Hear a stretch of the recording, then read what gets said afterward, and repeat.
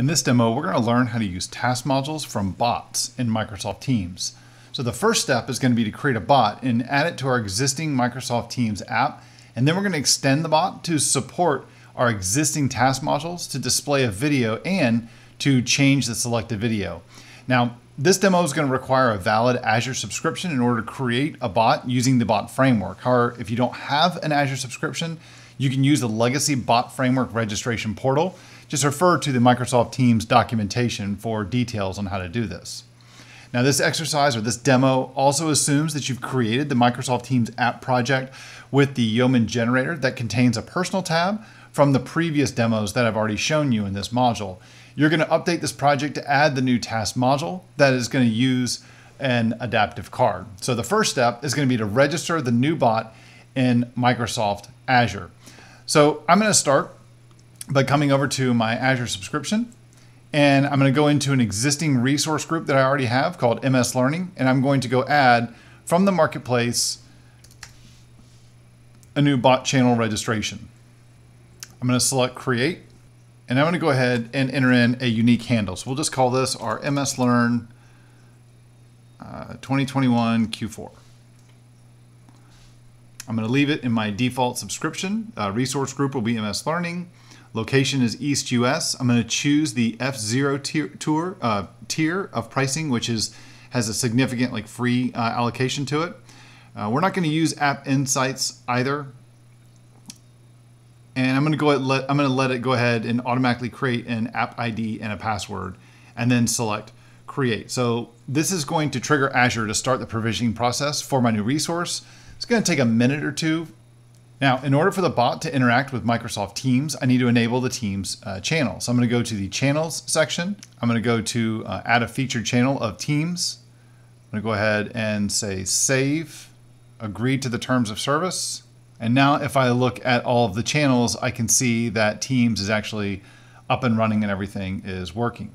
Now I need to get the bot's app ID and password. So what I'm gonna do is go to the configuration. I'm gonna find the app ID. So that's this ID right here. So I'm gonna go ahead and copy this and let's go back to our project and I'll just put this bot ID and then we're also gonna need the secret. So let's come to our app registration for our bot. I need to go over to our uh, client certificates and secrets for the app, app ID, and we'll create a new secret. So I'm just going to leave all the defaults, and I will copy the secret and stick that into our notes right here that we can uh, that we can use it later. Now, the next thing that I need to do, now that the app ID and the bot has now been created, the next thing I have to do is I need to open up the project that I created in the previous exercise in VS Code. Um, then I need to go update the ID for the actual bot. So what I'm going to do is come over here to our environment and I'm going to find the app Microsoft app ID and app password. So we paste our password in and then I'm also going to grab the ID for our app and I will paste that in here as well. So at this point, the bot's been registered with the Azure Bot Service, and the next step is to implement the bot and add it to Microsoft Teams. So now the first step is going to be to add the bot to the app's manifest file. So I'm going to go find the manifest file in our project. I'm going to find the bots section. I'm going to go ahead and add in a new entry uh, for our bot. This registers a new bot that only exists in the personal scope and has a single command mention me and we're going to ensure we're going to use this to ensure the bot's actually working. So the next step is going to be to actually code the bot. So I'm going to create a new folder in our server folder and it's going to be called learning teams bot and inside of this we're going to create a learning teams bot.ts file and I'm just going to go ahead and add this code. Now this is just the standard boilerplate code uh, for uh, creating a bot that's just going to echo um, the current user's name uh, that initiated the bot. I now need to add the bot to our Teams app components file. So if I come over here to Teams app components, I'll go ahead and add it uh, here. So this is going to tell it to automatically load it to our API. And then now we can test it. So we'll just make sure that everything is still running, which it is. And now that it's running, the one other thing we need to do is we need to go to our bot configuration and update the location where our bot is running. So here we're in our bot registration. I'm going to go to the configuration page and we need to enter in the URL for our bot's running. So that's going to be https colon andrewconnell.ngrok.io.